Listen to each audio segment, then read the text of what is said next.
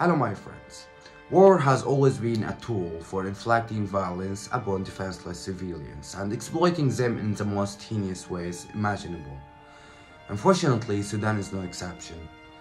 A series of reports reveals that minor girls as young as 9 years old are being raped.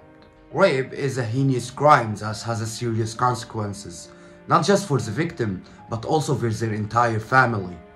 Well, sadly, many victims are afraid to speak out due to the fear of losing their reputation and the shame associated with it.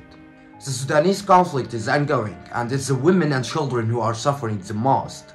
Systematic rape is, has become a weapon of war, causing immeasurable pain and suffering to innocent civilians. The psychological trauma and emotional scars that rape victims endure can lead to severe mental health issues including depression, anxiety, and even suicide.